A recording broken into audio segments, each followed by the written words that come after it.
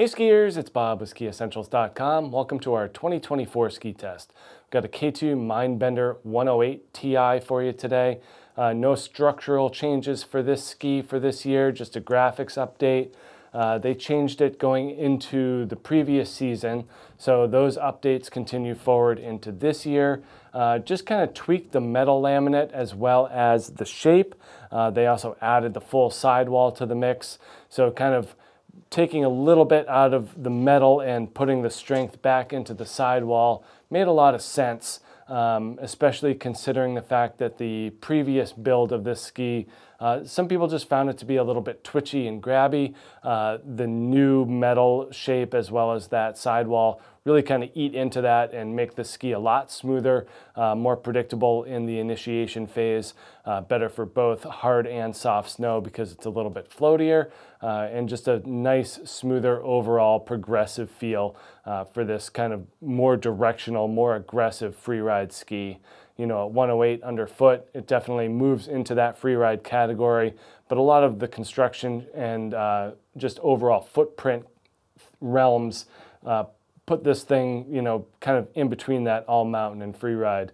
Uh, call it whatever you want, this thing rips. Um, built with that aspen wood core and a uh, mix of fir in there.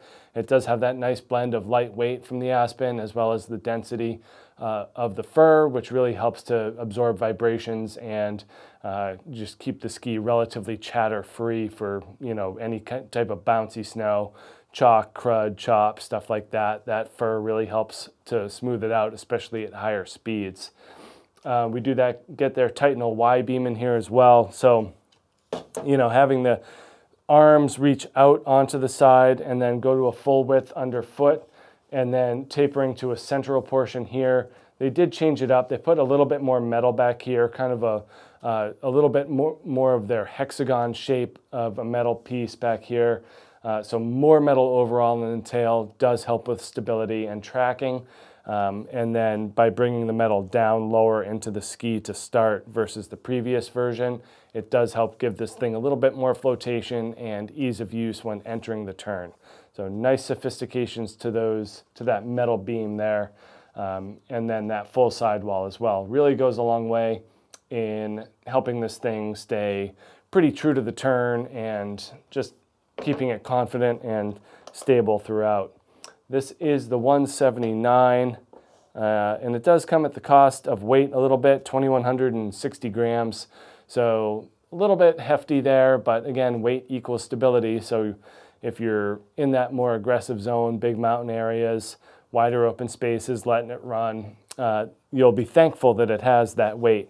And since it's mostly found underfoot, you know, you still feel that lighter swing weight in the tips and tails.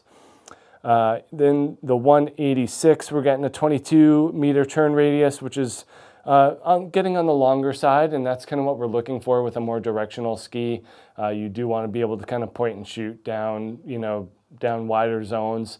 Uh, it's not ideally suited for tighter spaces. Uh, you know, it's a little bit of a different shape than what we would normally deal with here in Vermont. Uh, certainly functions better in bigger zones, but still a whole lot of fun uh, especially when you get that softer snow. And then they did kind of tweak that profile a little bit, not as much as in the narrower versions of the ski, uh, but we do see that nice long taper in the tip, starting way down about here, nice and gradual, nothing crazy from a, from a uh, shape perspective. Um, and then taper wise, it does get brought down a little bit, widest part of the ski right about here.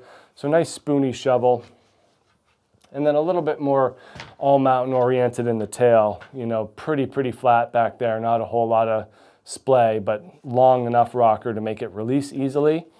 And then just kind of a gentle taper here.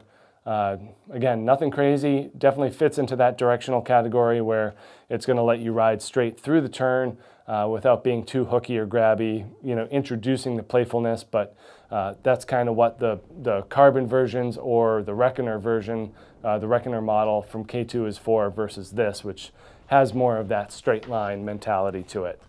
Uh, definitely more reserved for that advanced and expert skier who doesn't mind a little bit of extra weight, doesn't mind the longer turn radius.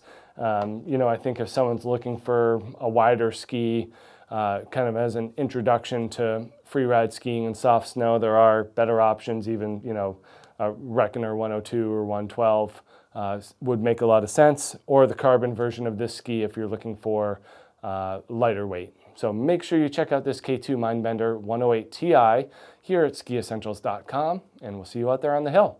Bye.